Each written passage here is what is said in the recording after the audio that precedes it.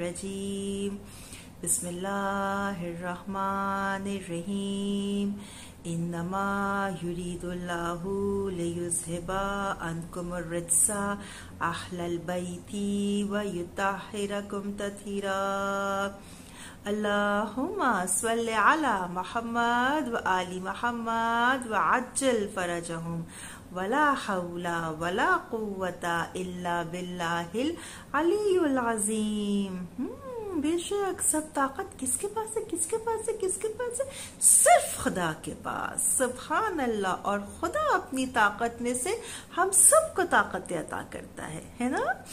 तो बच्चों, जल्दी से दुआ इमाम में समाना दुआ इमाम में समाना अपने वक्त के लिए, इमाम के लिए दुआ। बिस्मिल्लाहिर्रहमानिर्रहीम।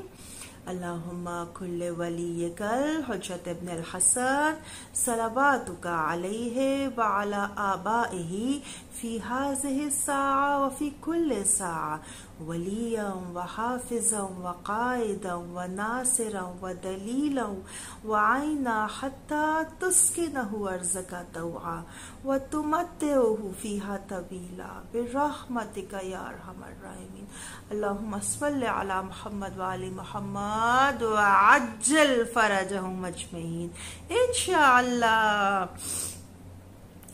बच्चों, कैसे हैं आप? उम्मीद है आप बिल्कुल ठीक होंगे और बिल्कुल खैरियत से होंगे। आज हम अपने दोस्त के घर चले, जारा के वहाँ, अदनान के वहाँ। तो चलते हैं स्टोरी टाइम में story time knock knock knock knock हाँ Zara Zara are you in the kitchen आप क्या कर रही हैं? आ जारा, आप आप आप बर्तन धो रही हैं। और अदनान अदनान हुवर लगा रहे हैं। हम्म, दोनों अच्छे बच्चे अच्छे अच्छे काम कर रहे हैं। हम्म, जारा व्हाट हैपन बच्चों पता है क्या हुआ?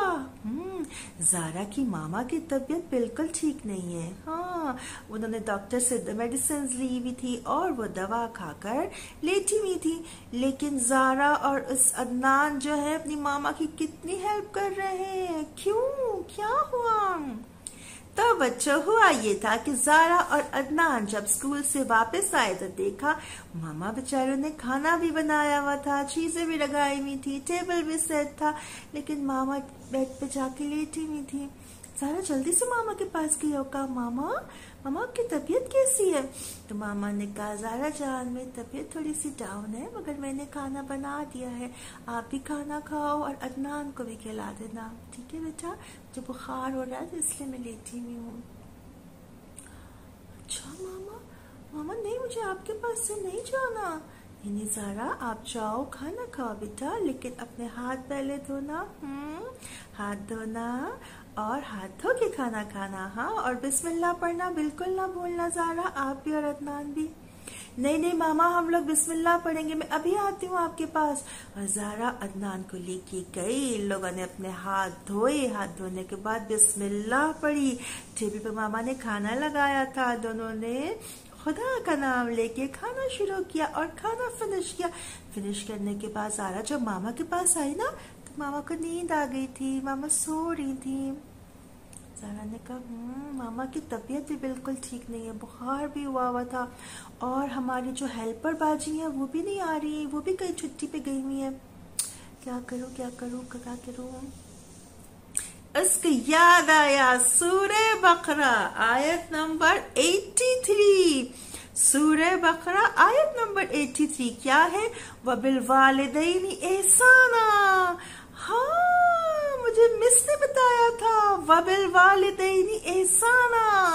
हम्म, अपने पेरेंट्स के साथ बेहतरीन सलूक करो। अपने दोनों पेरेंट्स के साथ बेहतरीन सलूक करो। सूर्य बकरा में खुदा कहता है मैं कैसे कैसे क्या करूँ? जल्दी से मैं किचन में जाती हूँ मामा की हेल्प करती हूँ। जरा जल्दी से किचन में गई। देखा अच्छा बर्तन रखे हुए हैं धोने वाले। बेचारी मामा ने रखे होंगे भिगो के कि वो धोएँगी।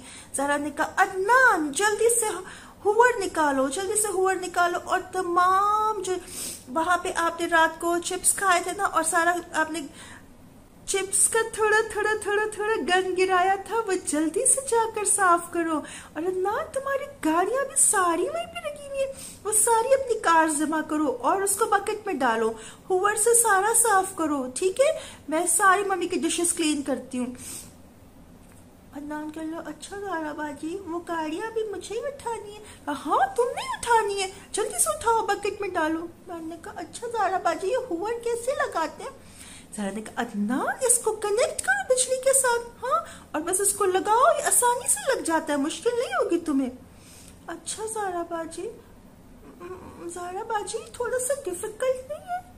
नो वबिल वालिदैनी, एहसाना वबिल वालिदैनी एहसाना खुदा कुरान में कहते हैं सूरह बकरा में अदनान अपने पेरेंट्स के साथ बेहतरीन सलूक करो मामा इस वक्त बिल्कुल अनवेल हैं और मामा इसी से खुश होंगी वबिल वालिदैनी एहसाना अदनान वबिल वालिदैनी एहसान बाजी मैं इसको सब क्लीन कर दूँगा मैं अपनी मामा के लिए सारे अपने टॉयज भी उठा लूँगा अपनी मामा के लिए सारा कार्पेट भी साफ़ कर दूँगा गुड बाय जारा खुश हो गई और जल्दी से किचन में गई और उसने अच्छे अच्छे अच्छे अच्छे पारे पारे पारे पारे सारे बर्तन मामा के धो के जो है वो सब क्लीन कर दिया, सारे काउंटर साफ़ कर दिए, सारा खाना जो बचा था उसको फ्रिज में लगा दिया। अब उसने कहा हम्म अब सब क्लीन हो गया। अब जब वो गई तो अदनान जो था, पता क्या कर रहा था? उसने सारा हुआ लगा के अपने टॉयज बकेट में डाल के अपने बाबा का लैपटॉप भी लेके आया था। उसको भी जगह पे रखा था। बाबा के सारे वायर्स भी लेके आया था। उनको भी जगह पे लगा। चारे चार्जर सब चीज़ें ईच एंड एवरीथिंग मोबाइल सब सब चीज़ें सेट करके उसने रखी थी। अदनान, ये भी सब वबल ऐसा ना। मैंने मामा के लिए सब क्लीन किया तो मैं अपने बाबा के लिए भी हर चीज़ उनकी सेट करके रखूँगा। जारा बाजी वबल कहा? थैंक यू अदनान हमने किचन भी साफ़ कर दिया, हमने लाउंज भी साफ़ कर दिया, हमने बाबा के लिए भी चीज़ें सेट कर दी। यस ताकि बाबा आप जब उठेंगे, बाबा की भी हर चीज़ बिल्कुल सेट होगी। वबिल वालिदैनी एहसाना जी बच्चों, देखा आपने? मुझे पता है आप लोग भी ऐसे करते होंगे। जब कभी अम्मी की अबू की तबीयत डाउन होती होगी तो आप ज़रूर अपने अम्मी अबू की हेल्प करते होंगे। हम्म कुरान मजीद में बार बार हमको बताया गया है कि हम अपने पेरेंट्स के साथ बहुत अच्छा सलूक करें।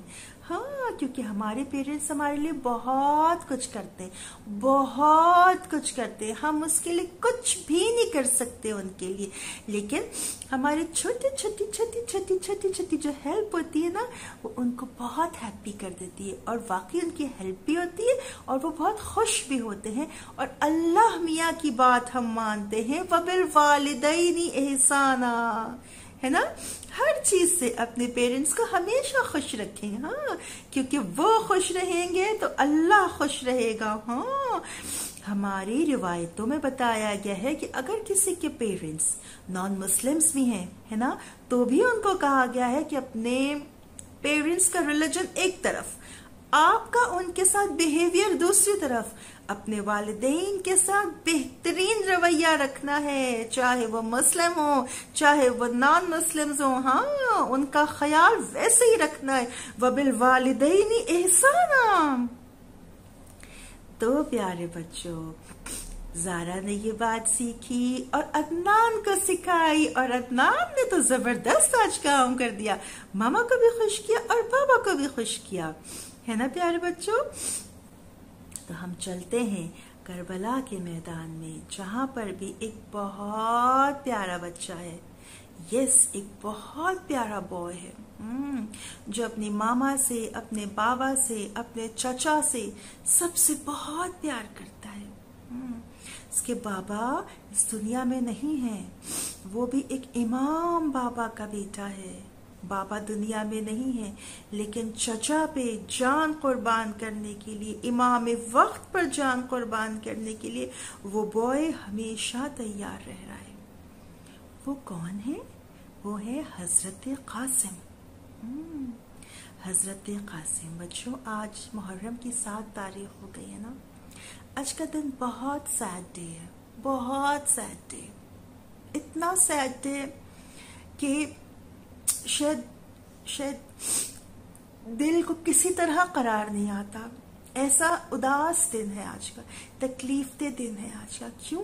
क्योंकि आज वो फ़र्स्ट डे था जब इमाम हुसैन के खेमों में पानी खत्म हो गया था। सात मुहर्रम, आज के दिन इमाम हुसैन के खेमों में पानी खत्म खत्म हो गया था। किसी कैंप में पानी नहीं था, किसी कैंप में पानी नहीं था। हर जगह से बच्चों, आवाज़ आ रही थी, अल अतश अल अतश यानी अम्मा प्यास लग रही है मामा प्यास लग रही है। और वो कोई आम जगह नहीं थी, वो रेगिस्तान था इराक का। हाँ वह बहुत गर्मी थी, बहुत गर्मी थी। दिन भी इतने गर्म थे, रातें भी इतनी गर्म थी। दुश्मन आसपास था, जंग का खतरा था। अपने प्यारों को खो देने का खतरा था। सबके बाबा, सबके भाई, सबके बच्चे उनसे दूर होने वाले थे। अजीब माहौल था। सात मुहर्रम वो दिन था बच्चों, जब इमाम हुसैन के कैंप से पानी खत्म हो गया बच्चों, हम ज़िक्र कर रहे थे हज़रत कासिम का, जो कि किसके बेटे थे? इमाम बाबा के, इमाम हसन के बेटे हज़रत कासिम। हज़रत कासिम जब छोटे थे ना तो उनके बाबा जब इस दुनिया से जाने वाले थे इमाम हसन तो उन्होंने कहा था, उनकी मामा से फरवा कासिम को बुला दीजिए। हज़रत कासिम आए, बेबी हज़रत कासिम तो इमाम हसन ने उनके बाजू पे ना एक तावीज तावीज नॉट से बाँध दिया और कहा कासिम जान जब आप बहुत किसी मुश्किल में आए ना तो इसको खोलिएगा वरना आप तो बाजू में बंधा रहने दीजिएगा। कासिम अपने बाबा की बात हमेशा मानने वाले कासिम वो तावीज कासिम के बाजू पे हमेशा बंधा रहा। करबला आए। कासिम अपनी मामा बीबी फरवा के साथ करबला आए अपने चचा मौलाना हुसैन के साथ। हम्म, रोज़े आशूर आया। कासिम को इजाज़त नहीं मिल रही। कासिम को इजाज़त नहीं मिल रही। माम हुसैन कह रहे हैं, तुम मेरे भाई की निशानी हो, कासिम। कासिम, मैं आपको कैसे इजाज़त दूँ? कासिम, किसी तरह कासिम को करार दिया रहा कि मैं किस तरह से चचा से इजाज़त लूँ और मैं अपने इमाम के लिए लड़ने जाऊँ? मगर चचा इजाज़त नहीं दे रहे। ऐसे में परेशानी के आलम में कासिम को याद आया? बाबा ने कहा था ये तावीज, जब परेशानी हो उसको खोल लेना। कासिम, जल्दी से जल्दी से उसको खोलते हैं जल्दी से खोलते हैं तो बाबा की हैंड राइटिंग कासिम, उसको चूम लेते हैं। इसमें लिखा होता है, कासिम जान, ये खत ले जाकर मेरे भाई हुसैन को दिखा देना और कहना, मेरे बाबा ने लिखा है इजाज़त के लिए। कासिम जल्दी से वो लेटर लेके जाते हैं। चचा को दिखाते हैं। चचा मेरे बाबा का खत। चचा मेरे बाबा का खत। मामा भाई की तहरीर को देखते हैं, उसको चूमते हैं, उसको आँखों से लगाते हैं। कासिम को इजाज़त मिलती है। बच्चों, कासिम थर्टीन ईयर के बिल्कुल यंग बॉय यस बुलाया जाता है बीबी जैनब को। इमाम हसन का अबाया लाया जाता है। वो कासिम को पहनाया जाता है, बच्चों। कासिम को इजाज़त मिल जाती है। इमाम हसन की तलवार लाई जाती है, बच्चों। वो हज़रत कासिम को दी जाती है। और कासिम इस तरह से जंग के मैदान में जाते हैं कि सबको पुकारते हैं, रिट्स पढ़ते हैं और कहते हैं, मैं हसन का बेटा हूँ। कौन है जो मेरे आगे आए? कासिम ऐसी जंग करते हैं, ऐसी जंग करते हैं कि उमर इब्ने साद अरजख को भेजता है। अरजख कौन था? बहुत खूखार आदमी, बहुत खूखार आदमी। अरजख के चार बेटे एक एक करके हज़रत कासिम के आगे आते हैं। हज़रत कासिम के हज़रत कासिम को सिखाने वाले कौन है? तीर अंदाजी तलवार अंदाजी ये सारे जंग के हरबे कौन सिखाने वाला? हज़रत अबुल फजल अब्बास। हज़रत अब्बास कासिम के साथ जाते हैं, एक टीले पे खड़े होते कासिम जंग करते हज़रत अब्बास कासिम को डायरेक्शन दिए जाते कासिम, अब वार करो। कासिम, अब वार करो। कासिम, अब वक्त है। अब अरजक के बेटे आए हत तब्बास कासिम को बताते गए बताते गए कासिम अब वार करो कासिम अब वक्त है कासिम ने ऐसी जंग की ऐसी जंग की कि वो अरजक के चारों बेटे जहनुम में पहुँचे यस अरजक को यकीन ना आए अरजक खुद तलवार लेके आया सामने वन टू वन मुकाबला था ना अरजक खुद तलवार लेके आया सामने इमाम हुसैन ने दुआ के लिए हाथ बुलंद किया ऐसे वक्त में ए रब कासिम की मदद करते। अरसा खुद सामने आ गया मेरे रब कासिम की मदद कर दे इमाम वक्त की दुआएँ मुस्तजाब। कासिम, ऐसे लड़े उस खुखार अरजक से बच्चों, ऐसे लड़े कासिम कि अरजक यहाँ गया, अरजक वहाँ गया। ऐसी लड़ाई की कासिम ने कि उमर इब्न साद ने कहा, ये बनी हाशिम का जवान है। ये अली की औलाद है। ये इस तरह काबू में नहीं आएगा। घेरा बनाओ कासिम के गिर्द कासिम ज़िंदा सलामत। घोड़े पे बड़ा चुमान कासिम जंग कर रहे हैं। और जब घेरा बनाया गया, एक तीर वहाँ से फेंका, एक तलवार वहाँ से आई। इस तरह कासिम पे हमले हुए। कि वो कासिम जब घोड़े से ज़मीन पर आए, बच्चों तो उन्होंने इमाम हुसैन को आवाज़ दी और कहा, चचा, मेरी मदद को आए। जैसे ही इमाम हुसैन भागे अली अकबर भागे, अबुल फाजिल भागे कासिम की मदद के लिए। अब जब वहाँ के जवानों ने देखा कि यहाँ से अब्बास आ रहे हैं, अली अकबर आ रहे हैं, घोड़े यहाँ से वहाँ भागना शुरू हुए वहाँ के घोड़े वहाँ से यहाँ भागना शुरू हुए कासिम घोड़ों के नीचे कासिम पामाल ज़िंदा कासिम पामाल हो गए बच्चों ज़िंदा कासिम पामाल हो गए जब इमाम हुसैन पहुँचे तो उनको हसरत कासिम कहीं ना मिले ऐसे में तो ने आवाज़ दी और कहा कासिम मुझे आवाज़ तो कहा हो एक टुकड़ा यहाँ से बोला चचा में आओ एक टुकड़ा वहाँ से बोला, चचा में आओ